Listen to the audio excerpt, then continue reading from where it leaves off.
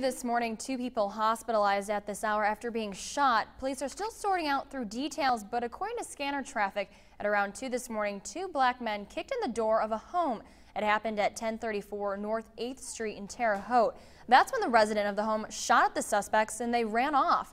One of the suspects made it down the block where he reported he'd been shot in the stomach. Moments later, the second suspect walked into Union Hospital with two gunshot wounds to the chest.